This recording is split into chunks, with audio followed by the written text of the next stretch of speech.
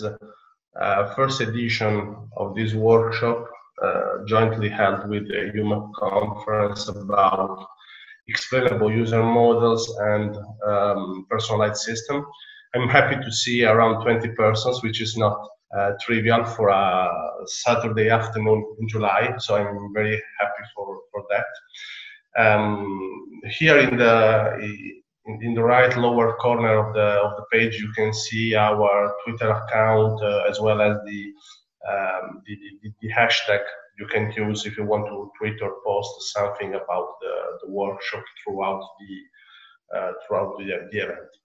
Uh, first of all, I would like to thank the, the people who has helped me to, to, to, to organize this workshop. Uh, many thanks really to, to Nava, Oana, Marco, Giovanni, and uh, Professor Jürgen Ziegler for the uh, for the support for the organization. I think that we have arranged a very nice program.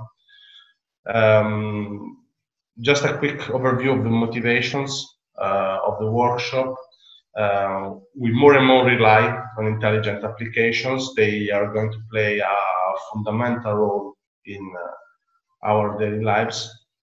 But the main problem that we have to face is that these uh, systems, adaptive systems, user modeling systems, uh, intelligent assistants, recommender system, and so on, typically are black boxes. So we are not aware of the internal mechanisms of these systems. We are not aware of uh, how the personalization process works. Uh, and this is not good. Uh, especially because uh, some recent regulations, such as the European GDPR, has emphasized the need for transparent and explainable models. So we have to open uh, AI black boxes. So the main uh, research question behind the, the, the, the workshop is to investigate how we can improve the uh, transparency and the explainability of user modeling, adaptation, and personalization uh, processes. Uh, we had uh, six papers. we had nine submissions, and we accepted six papers from two from Italy, two from Germany, and three from Germany, and one from Poland. Here you have an overview of the articles that we have accepted as you can see in the right part of the slider, we have a very uh, heterogeneous set of uh, topics which, is, which will be discussed throughout the, the workshop. We have uh, a RecSys paper, user modeling paper, uh, argumentation based uh, explanation strategies. We have article based on uh, deep learning techniques, which are very trending in the community, uh, articles based on user studies, and also articles such as uh, the last one will present with that focuses on very new domains. So again, it's a very heterogeneous set of topics that, uh, in our opinion, can cover most of the directions that are currently um, investigated in the research in the area of uh, explainable systems. Here you have an overview of the of the tags of the, the, the, keywords that are used in the articles we have accepted, and you can see that most of the topics that we want to investigate they are um, all there, and this is again good.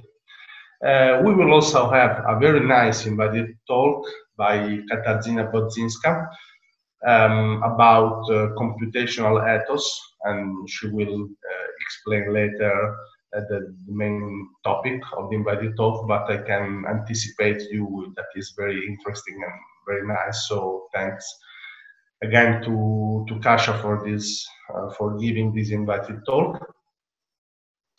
Uh, and here you have an overview of the program. Um, we will start in the first session that will be chaired by Nava with the with the invited talk. Then we will have a very short break, around 10 minutes. And uh, the, the first presentation that we have put in this session, because it is very close to the, to the arguments of the first uh, presentation. Then after the, the second break, we will have all the other papers in the second part of the, of the workshop. Uh, they are split by a short break as well Uh, we have 15 minutes for the for the full papers with uh, five minutes of questions and uh, 10 minutes for the uh, for the for the short papers. Uh, some of the presentation will be delivered by using the pre-recorded videos as we have done for the main conference, while other presentation will be um, will be presented uh, live by the presenters that are on live. Uh, that's it. So thanks again to uh, all the organizers and to all of you who have joined the event, and I hope you will enjoy all the all the workshop. So um, that's it. Uh, now I just pass the word to to Nava that will uh, chair the first section of the of the workshop. Thank you, Cataldo, for the very nice opening and also for your work and the work of all the co-organizers in making this event possible also online in this strange uh, setup. Uh, it is my honor and my pleasure to invite and introduce our speaker. Uh, Kasia Budzynska is someone who is quite known, I would say, in the argumentation community um, and is maybe one of these rare birds that combines fields that are very natural to combine and interesting in the way that they are. So if we look at her bio, right, it's argumentation and persuasion linked through philosophy, rhetoric, and natural language processing. And she does this in her role in Warsaw University, where she heads the laboratory of the new ethos. And we'll explain a little bit what this ethos uh, actually is. Uh, this is a group that develops models and techniques to process the use of ethos, the character of the speaker. So, right in the user modeling, we care about different properties of speakers uh, or properties of users, and here it's the, the properties of the speaker, and how these relate to natural language in order to predict things like the results of presidential elections, trolls, and cyberbullies and social media, so very socially current topics. She has published two books, over 80 peer-reviewed uh, papers in journals, uh, so Synthese, ACM Transactions on Internet Technology and Artificial Intelligence. This research also naturally has attracted research funding up to uh, a million euros in Polish, Swiss, British, German, and European programs.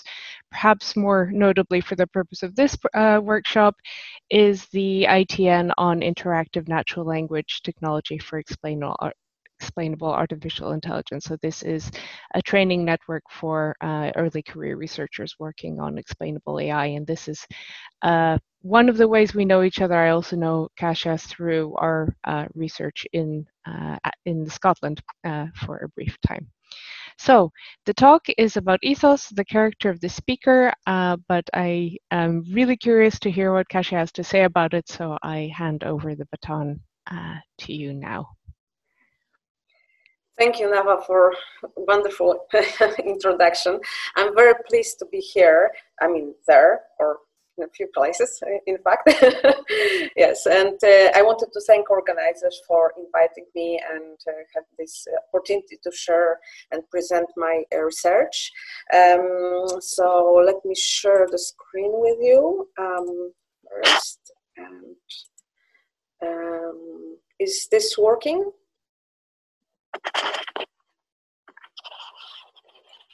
Yeah, yes, that looks looks good. Yeah. Yeah. Okay. Okay. Cool. Uh, okay. So um, the topic is uh, of this talk is computational ethos. Uh, let me start with saying, uh, explaining uh, what ethos is, who we are, and what does it have to do with computational ET. so uh, part, politicians put a lot of effort not only into planning what they're going to say, which is uh, logos or argumentation, but also into planning how they are going to look, uh, to design uh, their character, which is precisely ethos. So um, the research I will present today is a joint work of the laboratory of the new ethos and our colleagues uh, from uh, Dundee in the UK Konstanz in Germany and uh, Santiago de Compostela in Spain.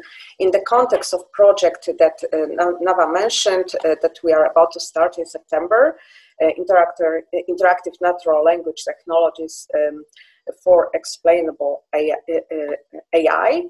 Uh, and specifically, the laboratory of the new ethos is going to look at a customized interactive argumentation scheme for XAI. Uh, we are going to create um, a user profile uh, in order to adapt argumentation to match this profile. So the idea is that, of course, better profile uh, gives you better customization, but then this better customization allows you to select better arguments for explain uh, uh, the decision of a system to a particular user. Uh, how we are going to use ethos in this project. So we are um, uh, we exploit uh, to a large extent the original theory of Aristotle, together with a long tradition of studying ethos in humanities. We use um, ethos technologies that we previously developed, uh, ethos mining and ethos analytics, uh, which I will present today. That, that would be the focus of the topic. Um, and in the context of uh, uh XAI, um, you can think about ethos as a way which human use to create user profile, which we will try to emulate uh, in, in the automated systems in our project, uh, I mean, project within NL for XAI. So back to, uh, to what ethos is, I, I, wanted to give you a little bit more intuitions. Uh, probably the most uh, well-known and most striking evidence of ethos power is Milgram's experiment, uh, in which majority of participants were willing to administer final massive 450 uh, volt electric shocks to others despite these people who, who, uh, who experience electric shocks were sweating, trembling, biting their lips, groaning, or digging their finger, fingernails into their skin, just by following the white coat, just following a person who pretended to be a scientist and who used this authority of a, of a science to encourage people to administer these electric shocks. Of course, uh, it's not so dramatic. It was all played by actors. I mean, the, except of participants that were uh, uh, administering.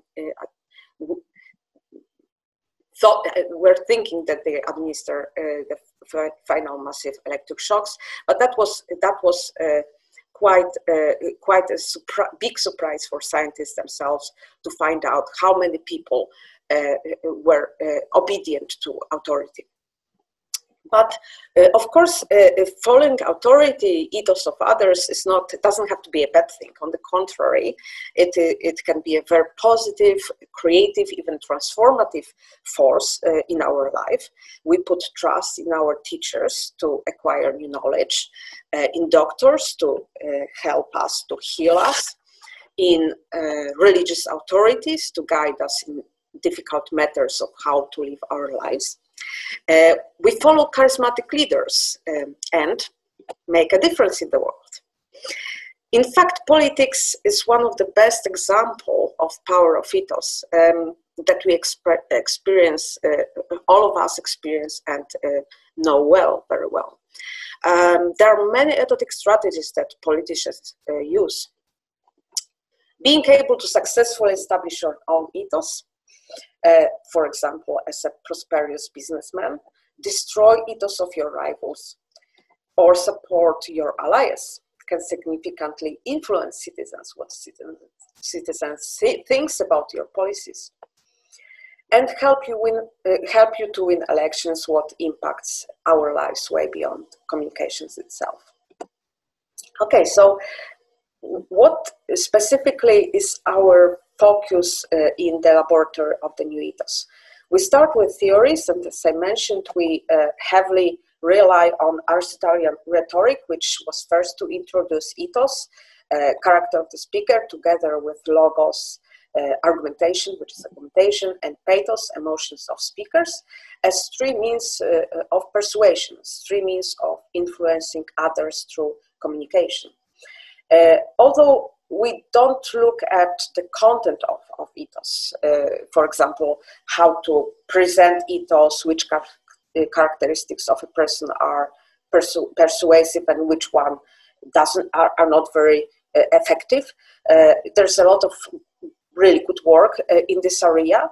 Uh, instead, what what we rather focus on is the form of ethos, and what I mean here is patterns of how patterns of uh, language use, patterns of how people express and refer to ethos in natural language. So that's our focus. Uh, so, sorry, uh, I should mention that uh, in the uh, existing literature, there's not a lot on the on the forms of ethos, so we need to cherry pick some some um, fragments from rhetoric, philosophy, and psychology to to add to um, what we know from Aristotle. Okay, so then, then we analyze uh, technically, uh, we call it annotate a large amount of real debates in natural language, debates in parliament, debates uh, on cultural heritage, and so on, uh, in order to, on the one hand, uh, validate theories that we uh, that we are um, founding our research upon, and on the other hand, uh, feedback or inform theory on the on the uh, ethotic strategies that people actually use in real in real life.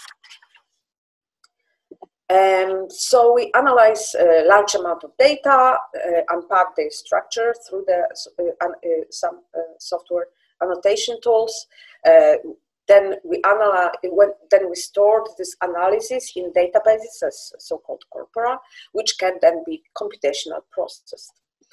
Uh, we use these theories and uh, language resources uh, to um, implement uh, um, ethos technologies such as uh, ethos mining and ethos analytics, which I will present in a moment.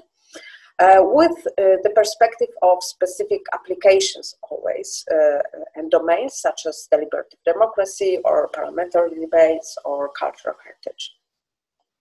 So just to finish uh, off and summarize the introduction, what, what do we do in the laboratory of the new, ethos?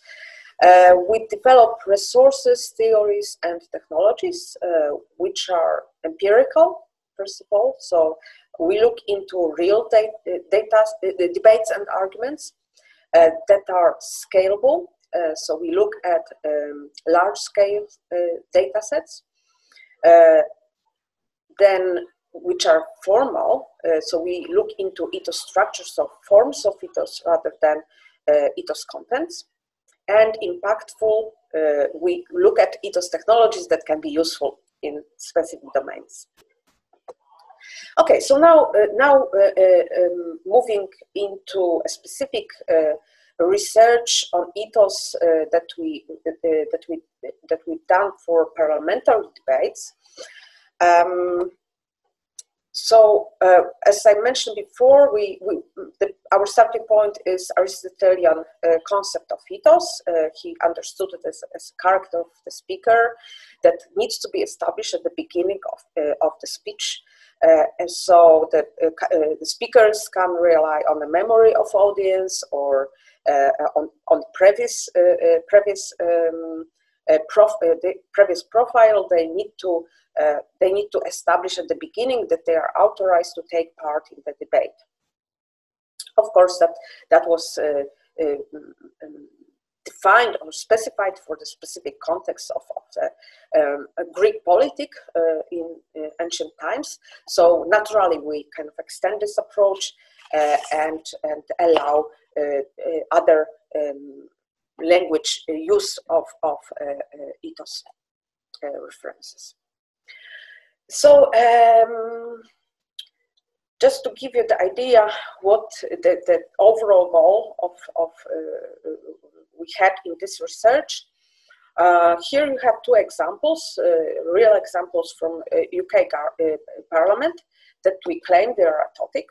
So maybe uh, I will read them if I can. Sorry, the part of the um,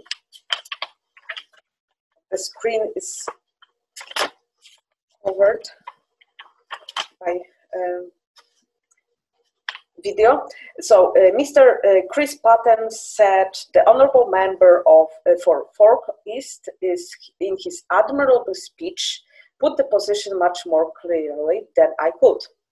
The second example is Mr. Uh, Giles Radice said, in doing so, he failed to face up to his responsibility both to the House and to the schools of England, Scotland, and Wales. So the idea that the very basic idea is that we can use the linguistic surface to rec- recognize both uh, in terms of human analysis or automatic analysis that we can use to, uh, to uh, recognize or detect uh, ethotic uh, supports and ethotic attacks. So, um, as I mentioned before, both of, both of these examples are ethotic. I will give you a second to think which, where on the linguistic surface that there are the uh, signals uh, of, of, of uh, um, supports of ethos or attacks of ethos.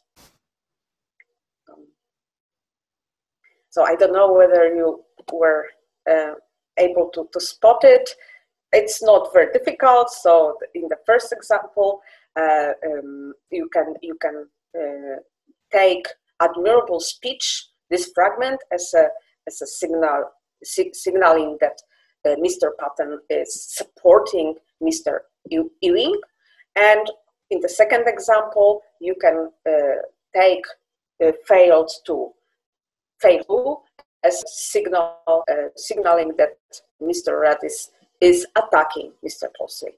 Technically speaking, we uh, we we call or annotate uh, um, the first uh, sentence as positive easy, which is positive ethotic sentiment um, expression, and the second uh, type of uh, uh, utterance as negative ethotic sentiment um, expression, which is kind of like ethos supports and ethos attack. Uh, so this this will this uh, um, uh, this technique is um, will help us to identify alliances and enmities between uh, politicians, right? So, so general comment. Um, why why to use these techniques? I mean, okay, we can we can use these techniques, but why why why to care to use these techniques for for uh, ethos? So on the one hand, you can ask politician of a user, for, for that matter, for opinion about others. For example, during the interview or the questionnaire on, online. Uh, but you can expect that politician might not give the honest answer, right? Uh, that he likes or doesn't like uh, as his colleague from parliament because of know, political correctness or some strategic maneuvering or so on. On the other hand, you can try to automatically detect uh, politicians' opinions in the wild right? So you can you can kind of like use ethos mining techniques to kind of scan basically what people are saying and pick up this ethotic supports who is supporting who is attacking whom right so you can in other words you can catch them red-handed um, so uh, why, why to do that you can then build a network of alliances and enmities so you can basically have a look who is liking whom in the parliament or who doesn't like whom in the parliament. Okay, so how, how do we do it? More technically speaking, um, we um, first first of all you need to do annotations. So here you have you, you have an example of of the analysis uh, of one uh, one utterance on the right hand side in the right hand side note, You have uh, uh, what has been actually said in the parliament. You also have the indication who said that. Uh, in this uh, example, it's, it's, just a, um, uh, just the initial of, of, of a politician. On the left-hand side, you have um, um, the content of what has been said. You can think about this as semantic maybe uh, of, of uh, an utterance. And we also keep track in what way it has been uh, it has been introduced. This semantics or this context has been introduced by a politician. Here interestingly and this, which is quite actually common in, in, in Parliament, it, it has been done not through the assertion, but so-called assertive questioning. So the, it's, the politician is pretending that they ask question, but also they kind of like uh, uh, uh smuggle some kind of assertive, uh, assertive um, opi uh, opinion. Um, and then if we have uh, this um, content unpack, then we can say whether it is that it, in this case, supports Mr. Prior ethos, right? So this is the, decision, of course, of the analyst, that, uh, that, the interpretation of the analyst, that this specific uh, uh, this specific fragment in the in the parliament debate uh, um, was uh, aiming at targeting at, at supporting Mr. Prior. Uh, this is a very analogous situation for attack. The only difference is that we annotate here not the default inference or the support, uh, but uh, an attack, which in our terminology uh, is called default conflict. Uh, here you can see the data set that we created. Um, um, we used UK parliamentary record, which is really nice about UK uh, Parliament uh, uh, is that they it is transcribed daily and stored in Hansard repository. So uh, that is uh, publicly available. So you can you have an access on daily basis on, on the on, all of the uh, parliamentary debates so we, we used uh, um, the period of uh, Thatcher government because we, we thought that it might be that there would be because it was such a controversial time in the history of, of the UK. So we were uh, um, uh, expecting that there would be a lot of supports and attacks between politicians. Um, here you can see that uh, uh, software tools that we were using, the tools that are that were developed in the Center for Argument Technology in Dundee. Um, we annotated 60 sessions, 60 parliamentary debates uh, with um, uh, over seven, uh, 700 uh, um, uh, utterances uh, and um, 253 speakers.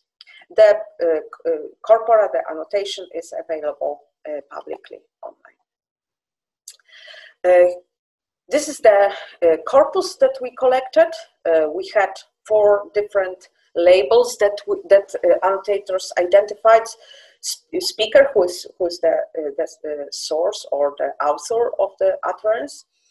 target, whose ethos is targeted, uh, and anecdotic supports anecdotic attacks. Uh, interestingly, if you look at the frequencies here, that was the first corpus that attacks were more frequent at, and then more significantly more frequent than uh, supports. But funnily enough, uh, that was the first uh, corpus for ethos. Previously, we were looking only at uh, argumentation, and in argumentation, supports are significantly more frequent than, uh, than attacks. So may, maybe just the parliament, uh, parliamentary debates, I don't know, uh, politicians, but more, more pro probable um, more probable is that, uh, in fact, if we move from logos to ethos, people tend to kind of like be more aggressive or confrontational um, than cooperational. Uh, then on top of this uh, uh language sources, we developed um, uh, ethos technologies. Um, we created two pipelines for ethos mining. One was um, using rule-based uh, natural language processing with sentiment analysis. You can see here uh, that we have, uh, in this pipeline, we have three uh, layers. One, uh, the first one aimed to identify uh, whether something is an anecdotic statement or is not a anecdotic statement, is neutral, talking about facts or some, some other stuff than ethos. Uh, once we identify anecdotic statements, then the next layer we're about to identify, detect polarity of, uh, so whether it is a support or attack. And then if we had supports and attacks, then we created uh, the, the last um, layer where um, uh, creating a graph basically that that visually represented this uh, network of uh, uh, politicians and how they support and attack each other. I will not go into the technical details. if you if you are interested, you can look at our paper uh, from 2016 from uh, from the uh, conference computational models of um, computational models of, um, of argument COMMA. Um, it's you can find it on, on my webpage. Maybe I should also mention that uh, currently uh, we are in the process of uh, uh upgrading our web pages. Uh, it's work in progress. So if you will not be able to find some information, be patient, please, with us. And and in the in two months, it should be everything there, so you can come back to that later. Those are results. Um, again, very briefly, um, you can see that uh, those uh, th this pipeline didn't do badly. So um, if you look at the last column, it's F score, which is basically kind of like accuracy of the uh, of the uh, of the uh, pipeline of the automatic system. Uh, the first first um, group here presents baseline, which is basically kind of like a, a a, a, random guess, right? So if you if you were to toss a coin and you have an utterance, you toss a coin and and look at the, what coin says and said, okay, it is uh, totic, and then you repeat it for all of the uh, all of the uh, expressions, and basically you have probabilistic uh, random uh, uh, allocation. So the accuracy for such a random allocation is 0.45. If you then uh, the second group is the uh, techniques that uh, um, are out of the shelf. So in other words, if you want to just use something that already exists for this task, you can see that it actually performs even worse than baseline, even worse than random choice. And the third group is that the two different uh, techniques that we that we looked at. So basically, this pipeline, but with tweaked uh, techniques that we plug in uh, into this pipeline and you can see that we achieve, we out, outperform quite significantly baseline and in NLP world 0.7 is pretty good, it's quite, we were quite happy. Uh, for polarity, for recognizing polarity, again, we kind of, um, uh, our te the, the, techni the uh, techniques that we developed outperformed uh, baseline as well. The second uh, pipeline that uh, we did, that we developed two, two years later, used um, deep learning techniques. And again, I will not go into the details, technical details. Uh, you can, if you are interested, uh, there's a paper on this in, published in, at IJCAI conference. Um, results, we boost up um, results a, a, little bit farther. So, so um, our in, in, the previous work, um, the recognition was uh, of um, polarity was 0.78, and uh, this deep learning techniques uh, applying uh, deep learning allowed us to to, to achieve uh, 0.84 and uh, for non easy non easy recognition again, we, we improved the performance. So then the, the last step was, was to visualize uh, the data in, in, the, in the graph form. Uh, so here you can see um, uh, this an example of this visualization. Uh, the nodes are politicians. The colors uh, denotes um, um, parties that that they represented. So um, blue are conservative, uh, red are uh, labor. The closer nodes are, the, the more interaction is with, with them. Uh, between them. Uh, uh, arrows represent uh, supports and attacks, so naturally the green ones are supports, the red ones are attacks. Um, of course, it's we, we, we were laughing that this is pretty much uh, spaghetti. Uh, so it's not very clear uh, how to interpret it, but you can you can click. Sorry, you can click on the um, on each of the arrow or node, and then you can get an insight of how what was the source, what, what was the target of the utterance, and how uh, what through what expression uh, this target uh, was supported or attacked uh, by a given source. Um, what is interesting, maybe uh, worth uh, saying here, is that uh, because Hansard is updated daily, you can make it dynamically, right? So you can you can basically run these algorithms every day and see how this uh, how, how this graph changes over time, and maybe you know some politicians are closer to each other or start supporting each other rather than attacking, um, and and kind of like. Uh, I don't get an insight what what is going on in, in the parliament, uh, that, that, some uh, fractions are creating coalitions. Um, uh, and uh, at the moment, we are uh, we, we are thinking about developing this more uh, and especially, for example, if you could, could see in real time how, how it, it is changes, changing for Boris Johnson, how much he is starting to be attacked or, uh, or supported over time. That would be quite, I think, quite interesting to see. Okay, so moving on. Uh, if we have such a network, what we can then do with that? So we can, we can predict we can make predictions about individuals and groups. And we did a little bit of studying into this direction. So, of course, what, what you need uh, for predictions, you, need uh, large uh, data set, and, but this is not a problem if you have ethos mining technology. So you can general, uh, basically throw in uh, the arbitrary number of uh, parliamentary deb- debates and create such graphs or in, in, for different governments. And once you have that, uh, we showed that you can make predictions. Uh, uh, you can have an insight of uh, into individual individual uh, politicians or uh, groups of politicians like parties. here is our analysis for Thatcher. We looked at the, the whole career. we used um, we extracted uh, information about how she was uh, supported attacks uh, during the, the, her political, political career. the spikes here correspond to the high frequencies of attacks or supports. The supports are green, attacks are uh, orange.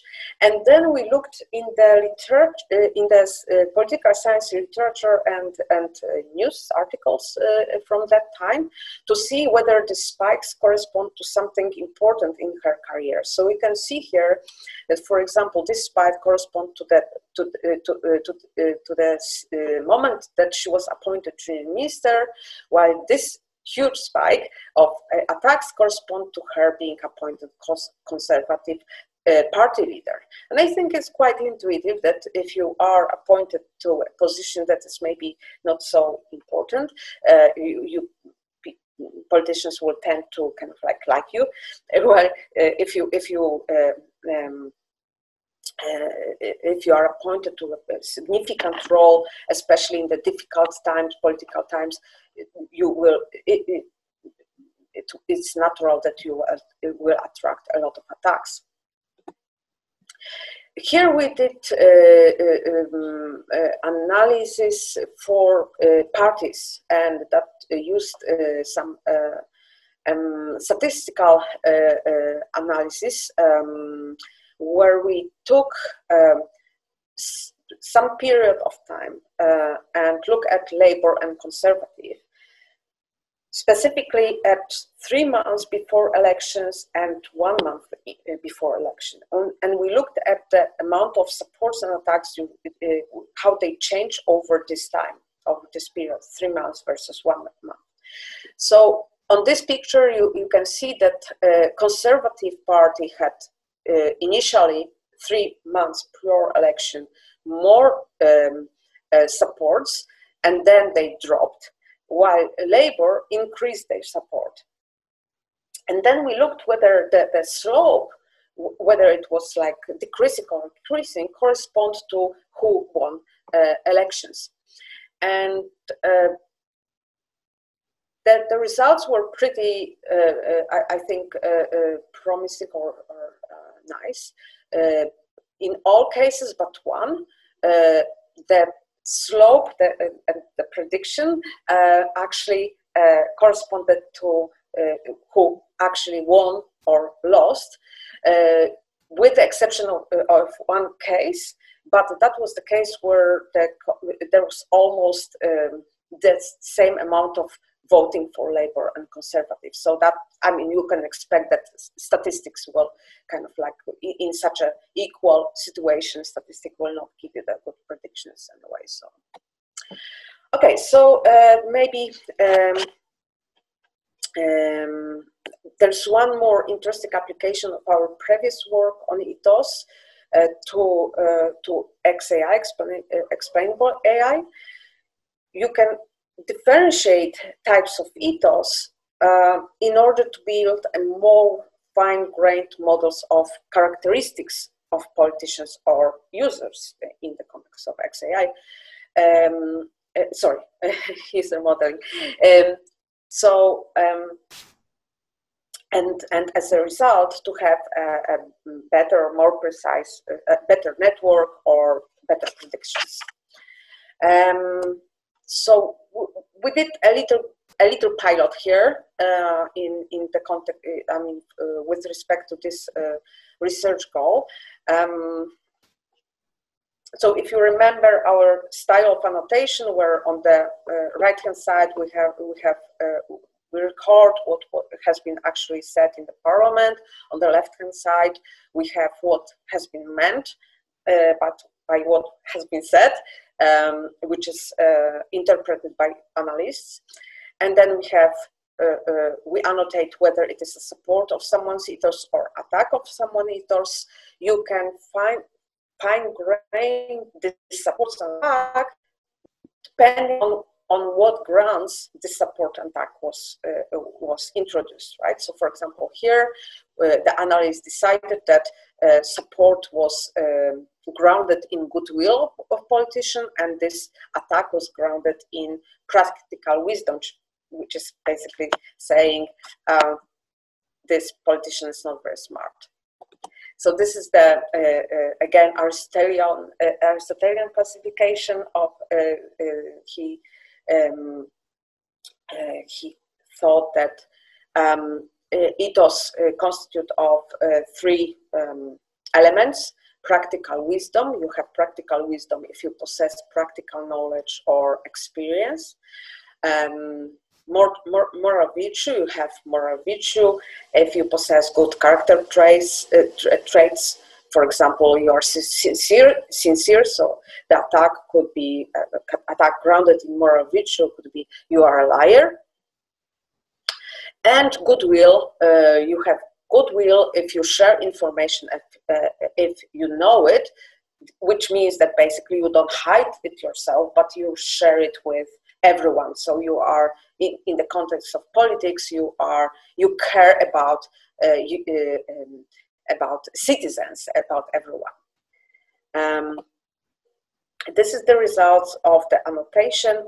Um, and if you look at that uh, that there are some interesting conclusions that can be drawn. Um, so if you look at, at supports, it seems that politicians tend to uh, tend to uh, support each other mostly uh, using virtue. So you are sincere, you are uh, honest, you are loyal, and so on, right? The second, uh, well, in terms of attacks, they equally use wisdom and virtue. So they will equally say you are a liar, but they might say you are not very smart. And also goodwill plays a, a, a larger role in, in goodwill. But that's that's only, as I said, uh, that was very um, uh, that was only a pilot, uh, you can say small, small study. So these conclusions uh, are not, uh, uh, they would have to be um, further uh, investigated. But but I'm just I just want to give you the idea how you can play them with more fine-grained uh, uh, um, categorization of what constitutes someone's ethos. We also implemented uh, implemented technology that automatically recognizes ethos types. Uh, once you have once you have uh, a system, whatever if it's rule based or uh, based on deep learning, which allows you to determine whether something is, is a, support or attack on ethos, then you can uh, plug it in into the system that will allow you to classify ethos type. Uh, the results were uh, not very satisfactory, but it's not surprising because uh, because with three categories you move away from uh, binary classification task and which is for autom- for uh, for automatic systems much more challenging. we you can also try pairwise classification, which is kind of whether it is try to recognize whether uh, it is wisdom or virtue against goodwill or wisdom goodwill against virtue and so on. But uh, even though you, you achieve better results here they are a, a little bit more difficult to interpret. As i say it is very preliminary this one. Okay, so uh, to summarize, uh, you can use ethos mining techniques to build a network of alliances and, and enmities in order to find out who is similar to whom. As a result, if you have a profile of uh, one user, you can approximate profiles, I guess, of others who are similar to, to, to, to, to her. Uh, you can use ethos analytics to predict um, what will happen to an individual or uh, groups, which in the context of, uh, of um, user modeling uh, could allow you to predict how uh, the profiles the profile might change over time. Finally, you can use uh, ethos type mining to build more fine-grained models of characters and as a result more accurate, uh, accurate network and uh, predictions. Uh, ethos is untapped source of information about users. Their results suggest that um, it can provide profound insight uh, that can inform models of users and help tailor explanations to them. Thank you. It's one of the least satisfying things that we can't have, uh, I think, clapping uh, in the way that one would in, in a talk, but I'm sure I speak for all the attendees uh, that we, we really enjoyed the talk. A little bit of housekeeping, the talk has been recorded, so this will be available afterwards if you want to see it. Uh, we also have a chat functionality here in Zoom, so I encourage all of you to type questions into this chat and I will read them to the speaker. Uh, I also I hope we will manage to discuss everything we want here, but this is rarely the case for, for interesting topics. So we will also copy these questions into Slack later, and Kasia can uh, continue the dialogue with you uh, maybe at a later time, maybe when you've re rewatched the video and had even more ideas. Um, let's see and uh, I wonder if people are still trying to find the chat, so I will just write it's here, and then maybe people can find it. Um, but I do have uh, a question uh, or two of my own. Let me see if I can find my notes here. Um, I was wondering if you've thought about the application of uh, this this kind of ethos mining for review extraction uh, in recommendations. So, in this case, it's not actually the character of a person, but the character of a product. So there is some humanizing of products, but uh, in, in, fact, we do have sentiments here. We do have anaphora resolution. Um, do you think this could be in in a sensible way uh, extracted to to see uh, how how people view products?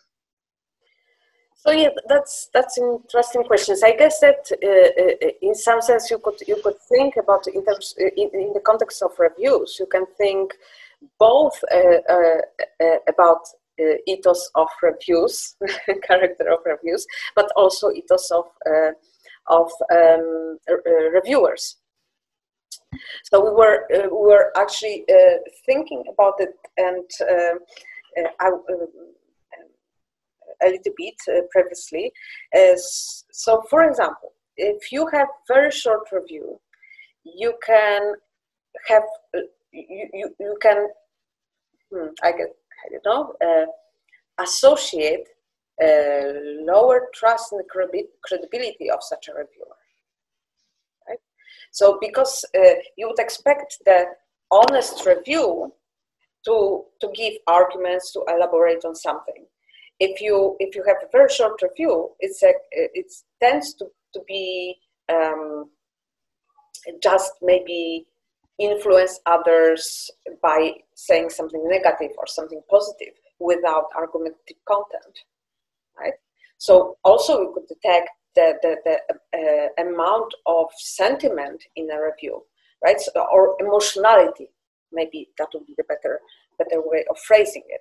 Uh, if, if the review is very emotional and, and uh, less uh, argument, uh, I mean, you have less arguments as content, you also could associate lower, uh, lower trust in, in um, or less credibility to such reviewer.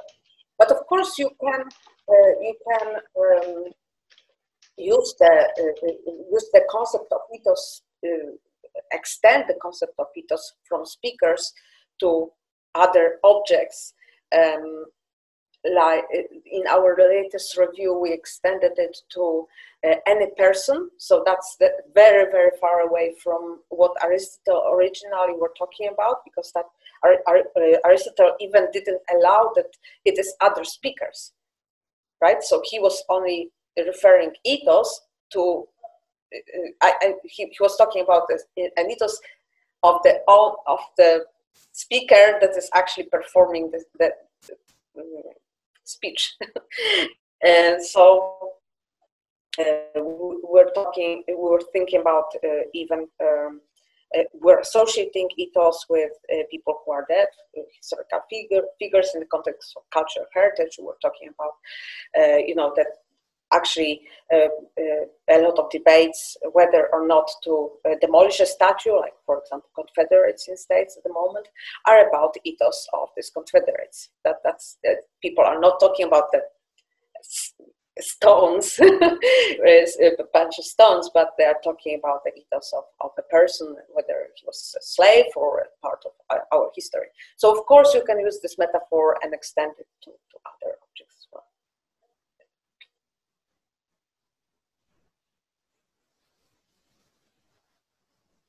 Sorry, it took me a while to unmute. So we have some, some. Thank you for the nice answer, uh, very complete, and I think helps us think about maybe some some of the work that we do. Uh, but some really nice questions here in the chat. So I'll start with a question from Cataldo. Uh, I know uh, part of these answers is saying, uh, can this be used for social media and social networks? Uh, so in the work that you've done, where do you see this being feasible and where are there issues when the language is changing and evolving? Um, could you sorry can, can you read it again? Because yeah I... so so so he's saying can your models be applied to social media and social networks? Do you think this would be feasible or does the language change? Okay so so uh, uh, thank you. Uh, it's uh, yes definitely it is uh, uh, it is a challenge. But it's not a challenge of ethos mining it's a challenge of nlp in general so general, generalize, uh, uh, being able to generalize one technology into other domains or uh, over time, it's it's it's difficult. Uh, that's why uh, uh, NLP techniques are very often are tailored to a specific application. But of course, you, you, you, can do it. So um, for example, sentiment analysis, which is uh, one of the uh, most uh, successful, I guess, areas in natural language processing, um, be, successful because it found found, found a lot of um, important applications in the in, in the industry, like for example, in stock market predictions. Um, so you can you basically the idea is that you are using uh, um, technologies to quickly see what, what, are the tendencies and what are the atmosphere about the new product uh, in the basically everywhere on social media.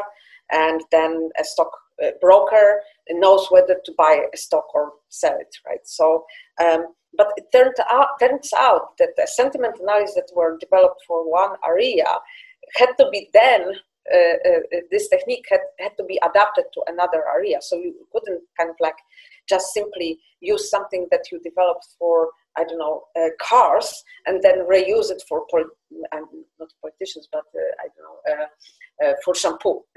right? So it's it's it's then it requires quite sometimes very boring uh, work of, of, of, for example, collecting data and annotate data. Um, so in terms of uh, in terms of ethos technologies, definitely even if you move from uh, British uh, uh, English into American English, there will be some challenges.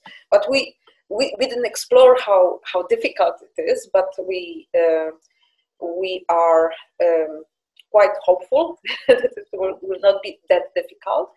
Uh, in terms of moving to social media, that's again quite challenging, presents uh, uh, even more challenges, I guess, because you could have users that are, for example, native speakers, but uh, from the UK or States, but also non-native speakers that speak English. So the, the, the way, I mean, the way they signal uh, ethotic uh, maneuvering uh, will be uh, also different in, in, in each of these groups.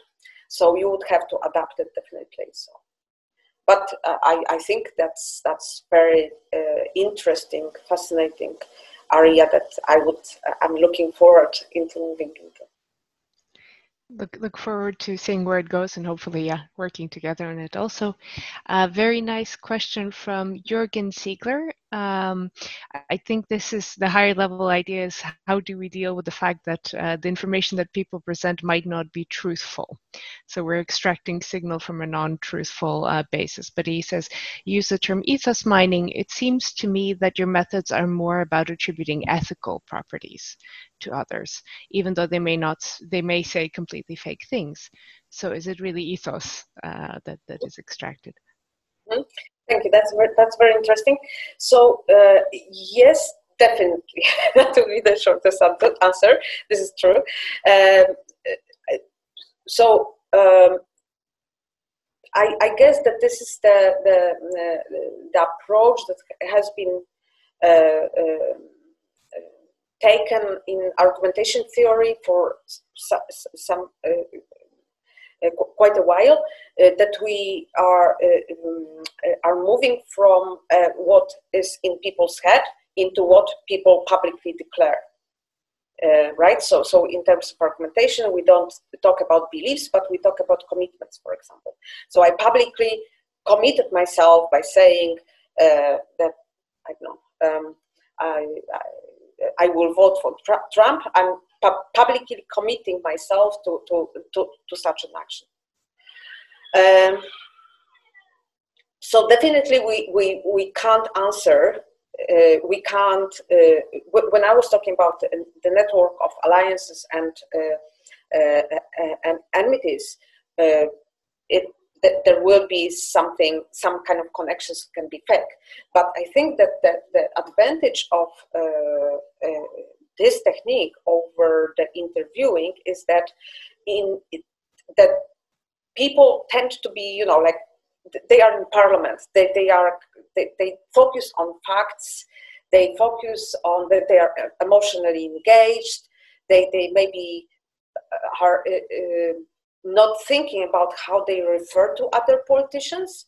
So they are more honest because it's kind of like embedded right? So you you you say um, you say something about taxes and then refer to the other politician inside of this opinion about taxes that can reveal how, how you think or how you feel about this politician. So that, that's the idea that, that you can move a little bit closer to, to the actual uh, actual uh, ethotic um, or uh, to what actually people like or dislike, whom people like or dislike. So.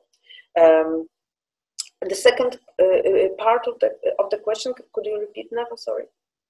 Uh, so that was, I think that addressed it, but I think Jürgen had a follow-on question, which was oh. uh, relating to the blur between pathos and, and in ethos. So uh, a term such as admirable speech, is it is it really ethos or, or might it be actually a form of pathos?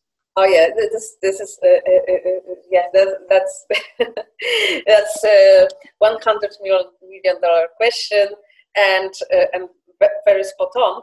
So uh, yes, uh, it's. Uh, um, I mean, in rhetoric, for example, um, researchers are saying, okay, there, there is logos, ethos, pathos, and then when they are start to uh, elaborate on them, then they're saying, oh, in fact, you know, like uh, if you do ethos, then you do pathos, and if you do pathos, then you do logos, and it's kind of like then you have this kind of overlapping circles, and then it's it's it's i mean i think that basically uh, there's no as far as i'm aware in rhetoric they didn't solve the problem of how what is really the, the uh, relation between this this, this two, two, three um, uh, tools of persuasion. So even though it is, I, I mean, concept, conceptually interesting, kind of like think about this these uh, three categories, I think that in real life and not natural communication, natural language, people are mixing these things together. And the same is, in fact, with wisdom, virtue, and goodwill. And we've found out that it's it's not very. I mean, it's maybe theoretically is uh, interesting, but uh, then uh, practically, if you want to analyze some things, it's it's really very difficult. So uh, you, the answer to your question is that definitely there, there is a mix uh, of these things, but uh, you can just focus and, and think about whether or not it is ethos or not, uh, ethotic or not, right? And you, you ignore everything else. The question is whether it is uh, uh, ethotic through pathos, for example, like admirable speech. So you kind of like try to evoke some emotions, but you just look whether it is trying to endorse another politician or not, or support another politician not. So uh, this is the only question that we are ask, uh, asking, or were asked, uh, we were asking in this research. But right now, what we uh, uh, one of the questions we want to um, uh, investigate is whether if you uh, if you uh, include in our pipelines uh, it, um, um, the recognition of emotions, whether it will improve the, the, the, uh, the, recognition of ethos. So the, the hypothesis would be that uh, people uh, typically use emotion, emotional expressions if they want to endorse or attack and, other people while uh, the uh, factual statement or logotic statement will be less emotional. But we, we don't know this yet. What will be the answer to this question? But definitely, it's it's it's uh, quite uh, difficult and on the other hand, fascinating. So uh, we're kind of reaching the end of time, but we have one last question. So maybe we, if we can make a short answer. Uh, you mentioned an ethos lexicon. Um, could you give us some detail? Is this publicly available? Uh, can we learn more about it somewhere? Mm, well, I think it is not uh, uh, uh, uh publicly available, but you can you can uh, email uh, my uh, well now ex PhD student.